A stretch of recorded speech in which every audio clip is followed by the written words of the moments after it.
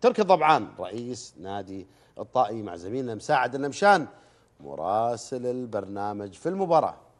يا هلا فيك والمشاهدين وأبو بدر والزملاء اللي معه الله يحييكم والله يبارك فيك. حقيقي وفوز مهم فعلا مثل ما قلت وبوقت حساس ووقت حرج بعدين تعثرنا كم مرة من ضاعت الفرص. لكن اليوم لله الحمد لله الشباب مدربهم وفوا وعدوا وعدوا حقيقي هو وفوا بوعدهم ولله الحمد.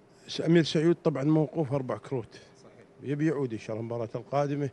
وله تأثير سعيد كبير.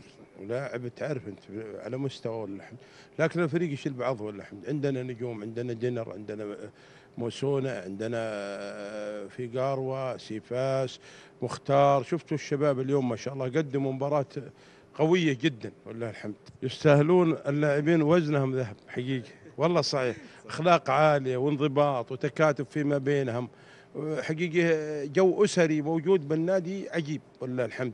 ويستحقون من هذا لأنه الأسبوع الماضي يوم صار التأجيل الطالي ظروف موت الشيخ خليفة بن زايد رحمه الله اضطروا الاتحاد إنهم يأجلون المباريات حنا صرنا على ما قال من من الحسا للرياض في مشقة عليهم وتعبوا كثير.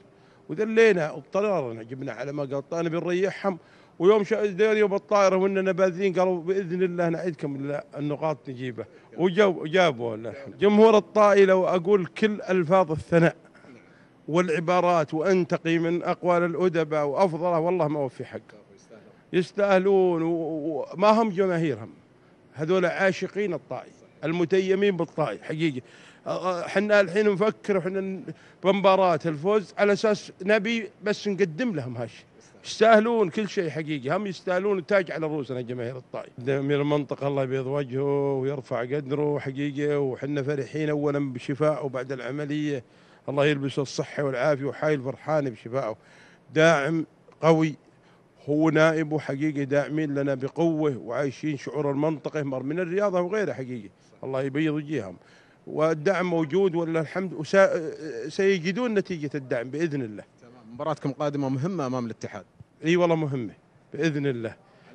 على أرضنا بإذن الله نبي نقدم شيء يمكن يغير بوصلة الدوري